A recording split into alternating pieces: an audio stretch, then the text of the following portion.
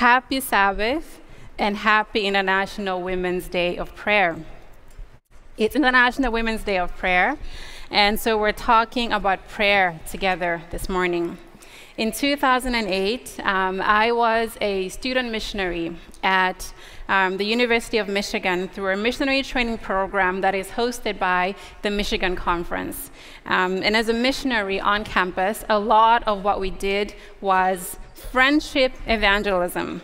And that involved making friends with students, getting close to them, really just befriending them. And through that friendship, using that as a means to share with them the love and the grace of Jesus. By God's grace, one of the students that we ministered to that year made the decision to get baptized.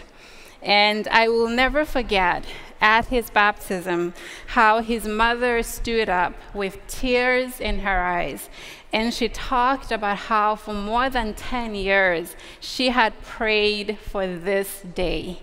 That for more than 10 years, morning, every morning, every night, she had prayed that her son, who had wanted to ha- have nothing to do with God, would come back to the faith. And she was in tears, says, More than 10 years I've been praying for this day. Prayer is power.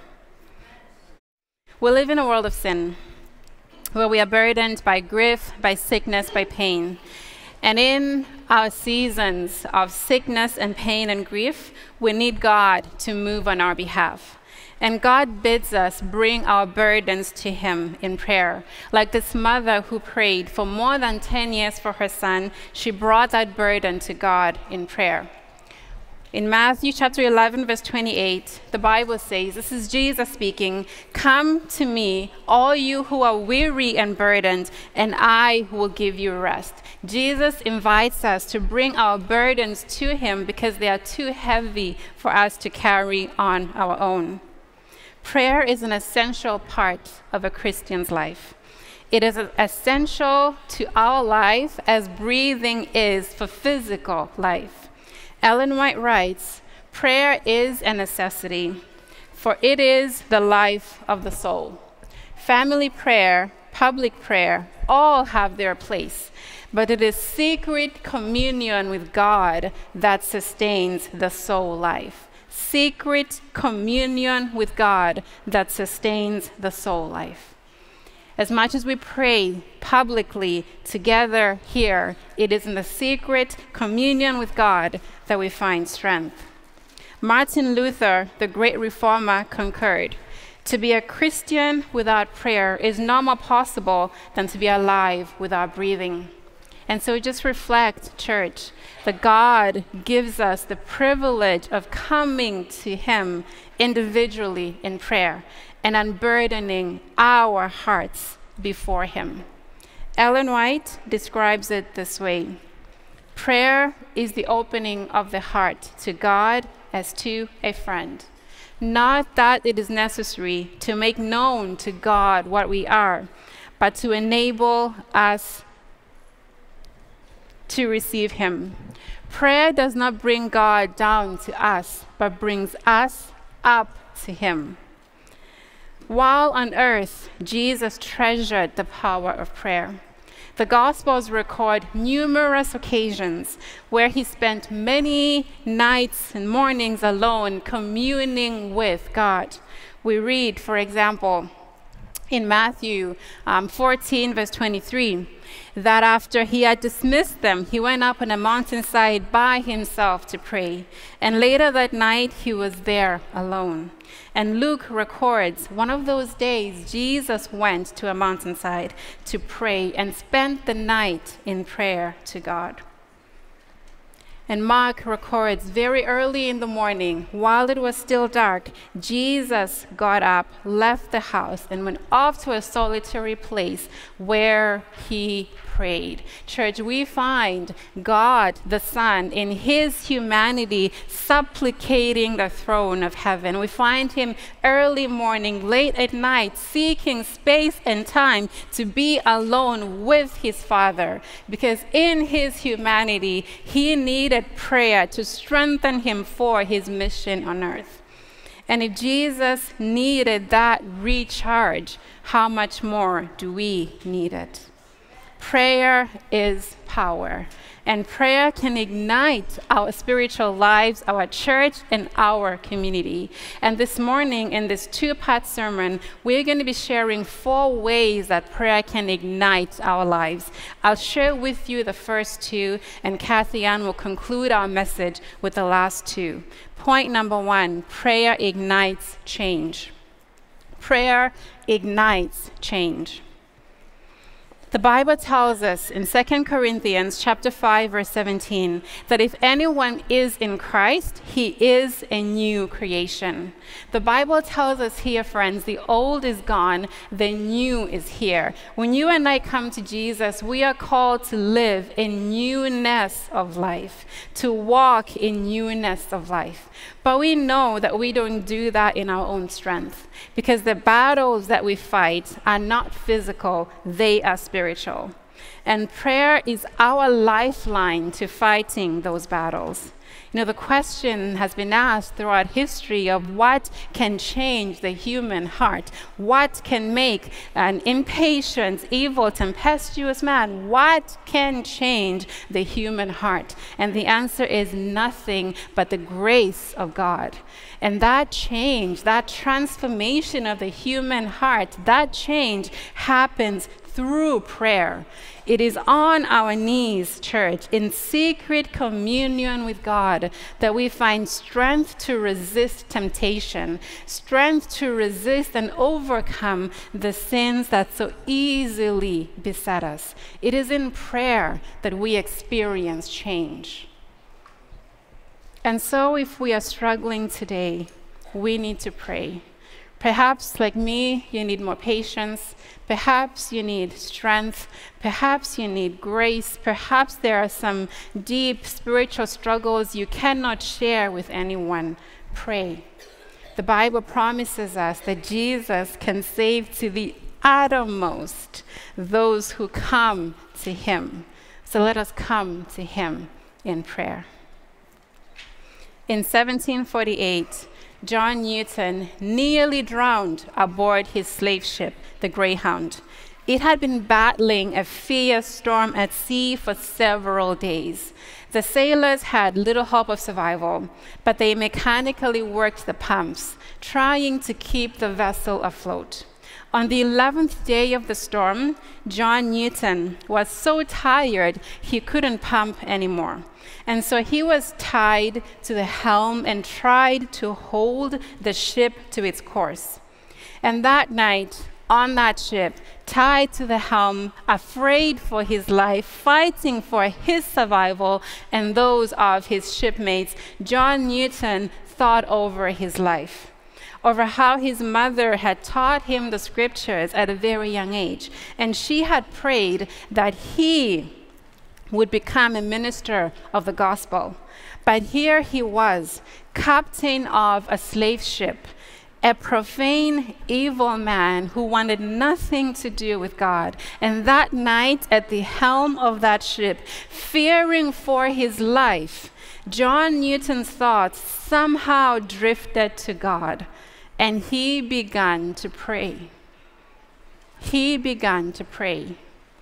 And God, God, in his infinite grace, mercy, and wisdom, saved John's life. Not just physically, but spiritual that night, fearing for his life on that ship, praying and turning to a God who he remembered his mother had spoken about, but who his life had wandered so far away from. John Newton, God worked to change and bring him back to the faith of his childhood. And so he wrote this hymn, Amazing Grace, a testimony of his conversion experience. And we sing this hymn. It's a beloved hymn in the Christian faith. And you understand what inspired the words that he wrote. Amazing Grace, he wrote. How sweet the sound that saved a wretch like me. You see why he used that word? He was a wretch, and the grace of God reached him. Friends, Prayer ignites change. As we come to God in prayer, He will change us. And as God changes us, we can ignite change in the world. In Matthew chapter 5, Jesus used two examples to illustrate how he wants his disciples to um, ignite change in the world. And so in Matthew chapter 5, verse 13, Jesus tells us, You, us, are the salt of the earth. But if salt loses its saltiness, he says, how can it be made salty again? It is no longer good for anything except to be thrown out and trampled underfoot. And then he also says in verse 14 through 16, You are the light of the world. A town built on a hill cannot be hidden. Neither do people light a lamp and put it under a bowl. Instead, they put it on its stand, and it gives light to everyone in the house. In the same way, he says, Let your light shine before others, that they may see your good deeds and glorify your Father in heaven. Jesus asks us to be salt and to be light. Salt Salt adds flavor to food. It brings out the good taste in the food. You want to be careful not to add too much of it, but it brings and adds flavor to the food. Salt can also be used as a preservative to keep things fresh. It can even be used to heal a wound and to prevent infection. Friends, Jesus says we are the salt of the earth. We are called to be salt. We are called to bring a taste and the flavor of God into this world.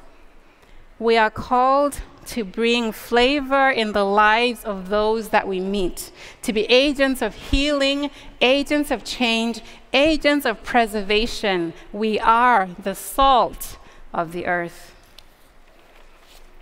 He also says that we are light. Light dispels darkness. Light makes it possible for us to see. When there is light, we can walk clearly and not stumble in the darkness. God's vision is that we ignite change by bringing light into our communities, by helping others to see the way so that they do not stumble in the darkness, by pointing them to Him who is the light of the world. Friends, we are called to be light and we are called to be salt. And as we seek to be light and salt in our communities, we can only do that if that change has first been ignited in our hearts and in our lives. David prayed in Psalm 51, verses 10 and 13 Create in me a clean heart, O God, he prays, and renew a right spirit within me. Then will I teach transgressors thy ways, he says, and sinners shall be converted unto thee. The power of that then. God, create in me a clean heart, and as you change me, as you renew a right spirit within me, then I will teach transgressors thy ways. As God changes us, and creates a clean heart in us, by His grace, we can ignite change in our communities, in our church, and in the world. Prayer ignites change. Second thing that prayer ignites in our lives is hope. Prayer ignites hope. We read in Jeremiah 29, verse 11 to 13. I know the plans that I have for you, declares the Lord plans to prosper you and not to harm you, plans to give you a hope and a future. Then you will call on me, he says, and come and pray to me, and I will listen to you. You will seek me and find me when you seek me with all your heart. It's not a question of will we, is he there to be found? He is there and willing and ready to be found. And he says, You will find me if you seek me with all your heart. And I am there to give you hope and a future, God says. This message from Jeremiah was one of comfort and reassurance to his people in extreme adversity and despair. His nation had just suffered a brutal invasion, and the people were displaced. This picture is no different from our world today. We think of the war in Ukraine, we think of wars in Afghanistan, in Syria, in Gaza. We think of everything that is wrong with our world today. We think about the economic crisis, we think about social political divisions, about natural disasters, extreme poverty, violence. Our world is in a state of despair. And people are looking for hope, even a sliver of hope to grasp. And it seems to many that there is no hope. Very easy. I don't know if you've been listening to the news lately, church, but as I listen to it, there are days I have to turn it down because I find myself driving, I'm listening to the news, and my, my eyes swell up with tears. Our world is so broken. And we can thank God that in this broken, bruised, battered world, we have hope. We have hope we have hope. And it is a hope that burns within our hearts. It is hope in Jesus, hope in His soon coming, hope in the better world that is to come. This world is broken, zero doubt about it. But we are not without hope in its brokenness. So when we look at it, when we see pain, we see war, we see sickness, or when we experience trials, tribulations that crush our hearts, we do not despair because we have hope. It is not an ethereal pie in the sky. It's a very real hope. And you know what, friends? It is in prayer that we grasp and hold on to that hope. Because prayer reminds us that this world is not our home.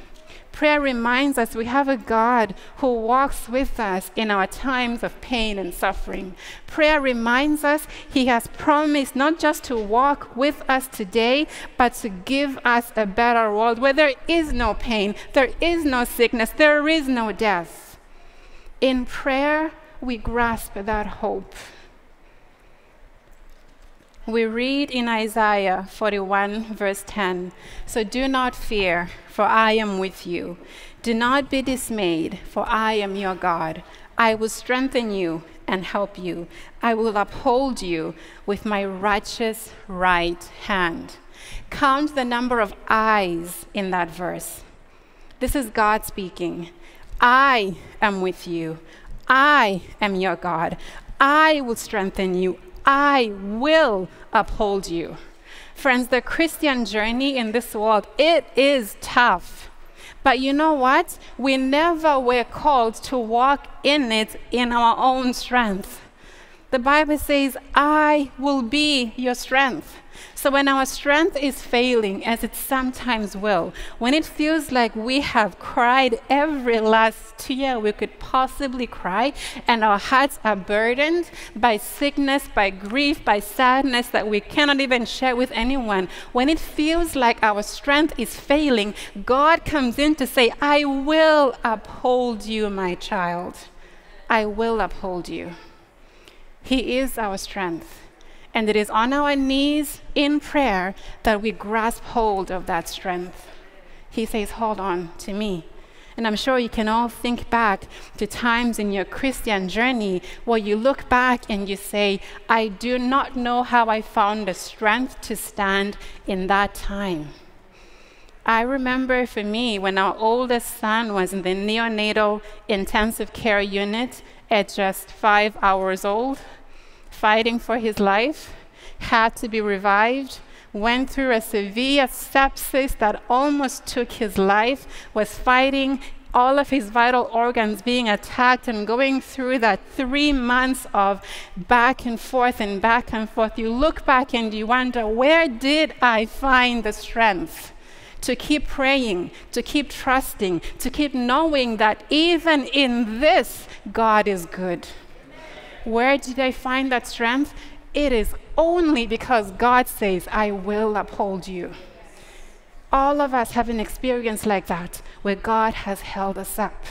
And it says, Come to me on your knees in prayer, lay hold of my strength, because I will uphold you. Prayer ignites hope. We find that hope on our knees. When Peter was imprisoned for preaching the gospel, the church was in despair. There seemed no hope to get him out of jail.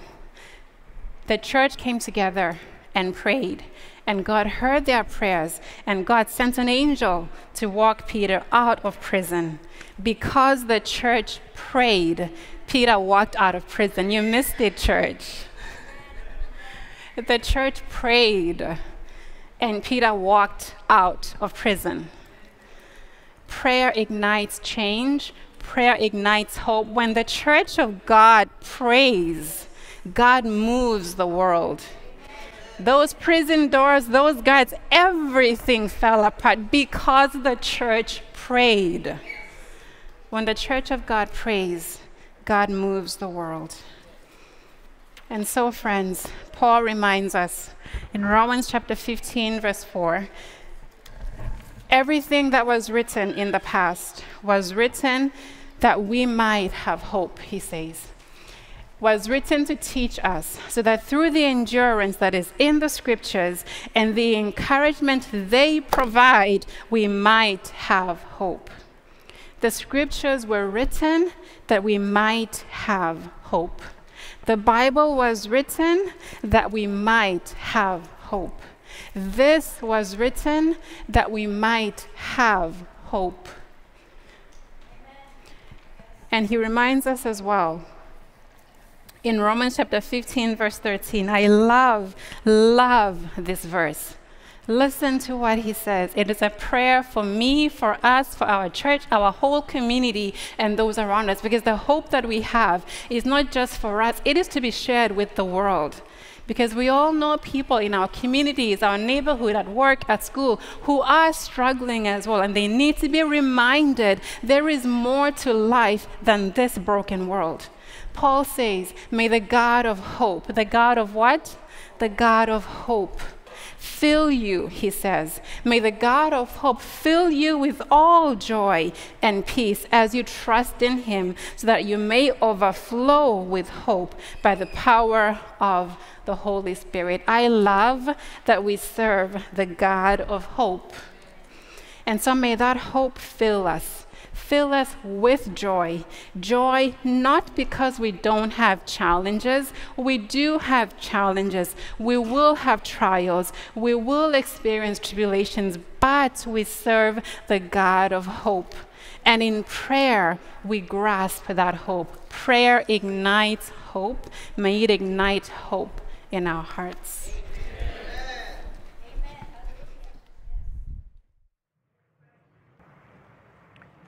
So we've heard so far that prayer can ignite change.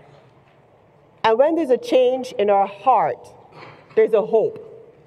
A hope that God can help us to move forward.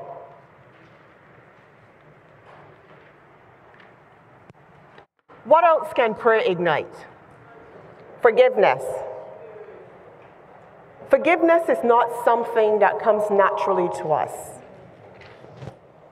So let me ask the question How many of you have ever been hurt? How many of you have ever been hurt by someone? Really? Fess up. How many of you have ever been hurt? How many of you have allowed that hurt to fester, that you become bitter, resentful? Has it taken a great effort to forgive? I wasn't planning on sharing this story, but I'm going to share it. A few years ago, my family and I we were invested in another family.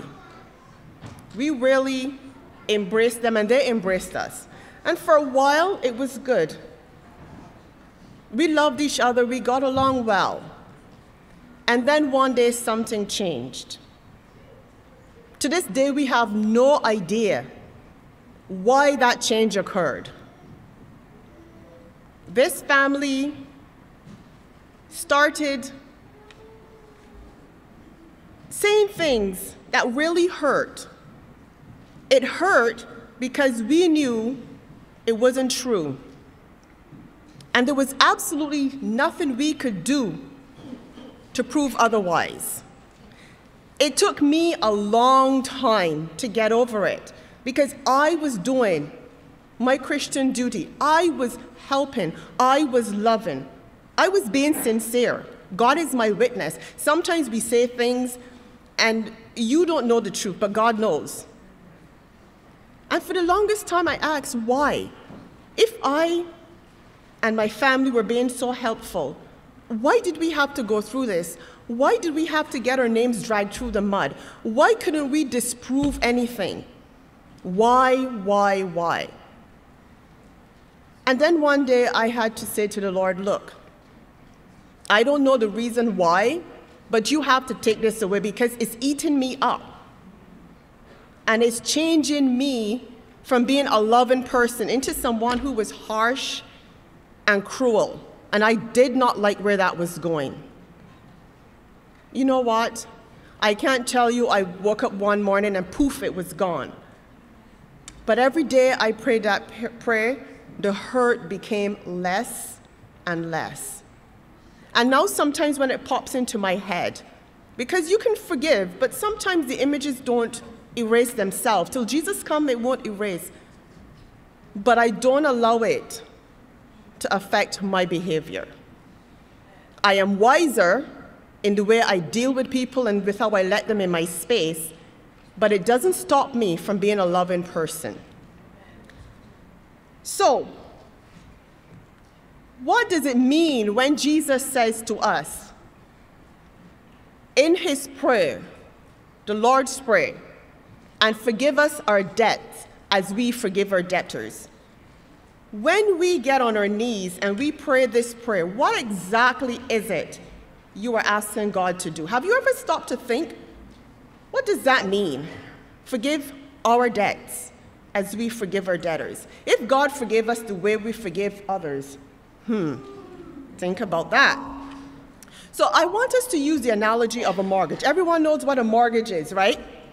At least the adults do. If you want a home, usually you don't have that kind of cash lying around. I believe a home can cost anywhere from 500,000 these days and up. You don't have that kind of cash lying around, right? But you need a home. So what do you do? You find a bank who can lend you the money or some lending institution. And usually you have to sign a lot of papers, a lot of legal legalese, I would call it. But in that, basically what you're telling the bank is, I want your money to buy a home, and the bank says, sure, I'm going to be your creditor, I'm going to lend you the money. You need to sign all these papers to say that you are the debtor. Now you're indebted to me, and if something should happen, I get the house because I want my money back. In a nutshell, that's what it is, right? So you sign this agreement, you promise to pay monthly, semi-month, semi, uh, bi-weekly, however often, and you're paying it back with interest. And you're all good. Now you have a landlord called the bank. You can enjoy the house, but really the bank still owes it until you clear this debt off. Sometimes life throws us a curveball. So you get to a point, something happens, and suddenly you cannot pay that debt anymore. What happens? The bank says, okay, I'm going to write your debt off. Do they? No. What does the bank say? Give me your house. It becomes mine. And unless you can find someone to step in and say, wait a minute, let them have their house, I will clear the debt. Unless you find that person to bail you out, you become homeless. What has that got to do with Matthew 6:12? In Psalms 24 verse 1, Jesus says, The earth is the Lord's and the fullness thereof, the world and those who dwell therein. Psalms 100 also says, Know that the Lord, He is God. It is He who had made us, and not we ourselves. We are His people and the sheep of His pasture. Do you see a linkage yet? God made this beautiful world. God says, enjoy it. It's yours. The only thing you have to do is obey my law, trust me, and all is yours. Does God still own this world? Does God own you? Yes, He does. Because if He was to take His breath right now, what do you become? A lump of clay, right? But God is a loving God, so God said, I've given it to you. Just love me, trust me, obey. So in that scenario, God is our creditor because He owns everything. The purchase agreement, trust, obedience, and just follow His law. And a debt. Where did that debt come from? Most of us knows the story of Adam and Eve. Do you know what happened? Adam allowed Satan's temptation to get to him. And he sold out the world. So suddenly, a debt was created. Here we have eternal death. What do we do? Who's going to bail us out? Do we have to forfeit eternal life? Someone said Jesus. The solution, John 3:16. We can read it together. For God so loved the world that he gave his only begotten son, that whoso believes in him should not perish but have everlasting life. Isn't God good? Isn't he grand? God says, I am going to bail you out. I am going to give you Jesus he is going to be the one who takes care of this eternal death business. So suddenly, as Tando pointed out, we have hope. We allow him to change our hearts, we have hope. And suddenly, we are no longer in debt because Jesus gave us his son. He says, now accept. There's no waiting period. If you were to follow your knees right now and ask for forgiveness and ask for God to come into your heart, He isn't going to say, wait a minute. He says instantly, You're justified. I love you. I've got your back. Just like He did to the tax collector who went down to his house justified. But there's a part of Matthew 6 12. We've only de- dealt with one half. What was the other part of that verse? It says, Forgive our debts as we forgive our debtors. So we've talked about the relationship with us and God, but now we're talking about relationship me and you. How do I forgive you your debt against me? So we have already established that the debt is sin. Sin created this problem. And we know that when we receive Christ in our heart, He has the power to help us forgive. When we recognize, when you look through the cross, when you look at the cross and you know God died for me, He died for you, we're all on the same playing field. Like there's no hierarchy in God's world. We're all sinners. And when we start to look at each other that way, and we realize the depth of God's love. He came from heaven. He created us. He knew we were going to nail him to a tree. He knew he had to suffer. We talked about this this week in the adult lesson. He knew. He did it out of love. He was bruised, he was beaten, he was rejected for you and me. When we start to understand that we are worth something in God's sight, there's a glimmer of that hope that allows us, even though we're beaten up, even though we're hurt, even though we feel as though we're going to be crushed, we realize that God can give us the strength to forgive. The recipe for forgiveness recognize God's love for us enables us to love each other. This is something I myself had to come to ter- term with in my example I gave you. It hurt. It really hurt. And my family can tell you sometimes I would just ask why. I would just cry over this thing because I couldn't understand. But when I realized, you know what, there's a devil. And this really is about him hurting God because I belong to God. When I recognize God love, when he was on the cross, what did he say?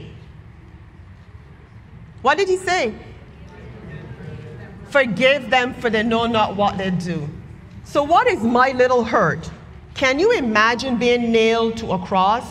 Every time I read this in the Desire of Ages, I get goosebumps because I cannot imagine nails going through my hand, bones crushing, blood oozing. I cannot imagine being beaten with many stripes. Do you know what they beat people with in the Bible times, those Roman beatings? There were metal balls attached to strips of leather. Can you imagine? Can't you feel it just tearing your flesh? And if the Son of God in human form could be on that tree and he could say, Forgive them, who am I? What is my puny little problem that I can't forgive? Think about it. Think about that. Ellen White says, We should not think that unless those who have injured us confess the wrong, we are justified in withholding them from our forgiveness. So it doesn't matter if the other party forgives you, has no bearing on whether you forgive. She goes on to say, It is their part, no doubt, to humble their hearts by repentance and confession, but we are to have a spirit of compassion. We need to be compassionate, even to those who hurt us. Towards those who have trespassed against us, whether or not they confess their faults. So, what are we called to do? Forgive, regardless of if they confess their sins to you. You must forgive. I started out by saying it's not natural. The natural inclination is to seek revenge. That's our natural inclination. But we need to humble ourselves. We need to allow that change to take place if we're to hold on to that hope. As Christians, we need to learn how to forgive. We need to know how to humble ourselves. We need to understand how to do that. When we look at Philippians chapter 4 and verse 13, it says what? I can do some things. All things through him who gives me what? Strength. What does it say in Romans 12 21? Do not overcome, do not be overcome by, but overcome evil with. So, in other words, even though it's not natural to forgive, I can do all things through Christ. That's the secret, friends. When we experience, that change of heart, we have the strength. We can overcome evil with good. What else can prayer ignite? Prayer can ignite unity. What is unity? If I were to ask you to define unity, what is unity? Togetherness. Any other word? One, in mind. In mind. So when I was thinking about this, I came across a devotion by um, Dwight Nelson. Any of you know Dwight Nelson, Pastor Dwight Nelson?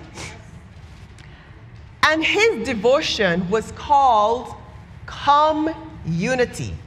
He was playing on the word community. So togetherness is a community. And the scripture reading he based that on was John 7 11. It says, Holy Father, keep through your name those whom you have given me, that they may be one as we are one. Are we one? Are you are we one? We should be one.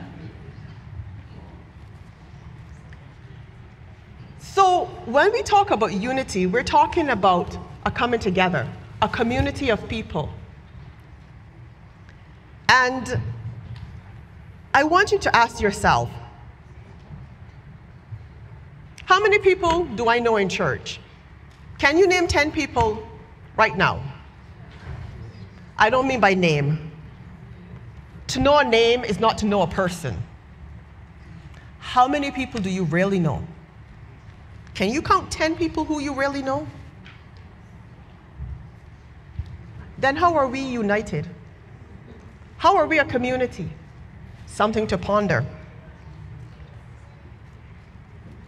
Jesus said, Holy Father, keep through your name those who you have given to me. Has God given you to Jesus?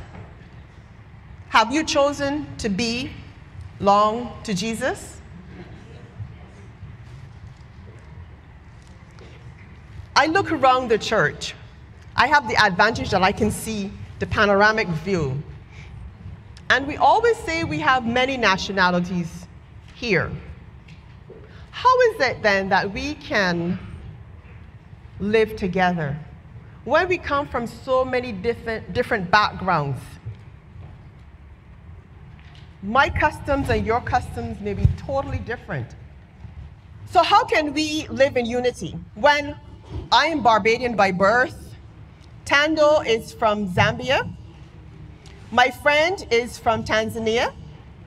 Gislade is from Haiti. Miriam is from Guadeloupe. How can we live in unity when we have so vast a background? Someone said it. Jesus, because he says we are one. Ellen White says the most powerful and convincing proof to the world of the majesty and virtue of Christ is his power to take away sin.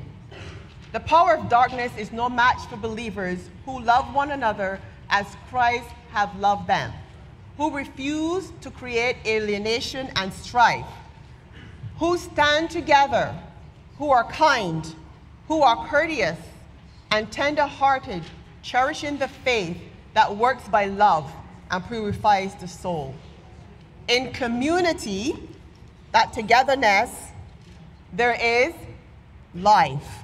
There is power that can be obtained in no other way.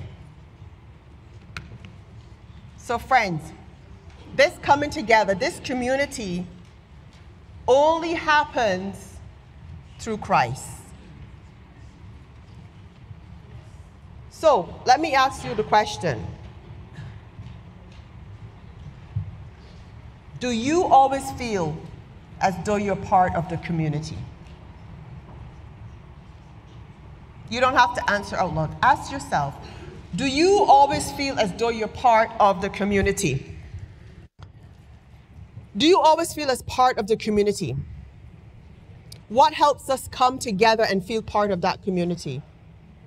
Love, love of God, but also, I like to call it kneeology, pray. Because we said diversity, and sometimes we do rub each other the wrong way because we are different. But if we remember we are part of the same community with the big picture in mind, sometimes we do have to fall to our knees and ask God to help us remember we are a community. My friends, God called to community is a powerful one. It is powerful because when we think about each other, on the same playing field, no hierarchy. When we remember we're all part of the same family in Christ, that's radical. That's a radical love. To love people who are different, to love people who rub us the wrong way, to love people who don't always agree with us, to love people who sometimes, for peace, we might have to keep a distance. You still have to love because we're all part of the community. Prayer, my friend, is powerful. Prayer can ignite. It ignites change. It ignites hope. It ignites forgiveness.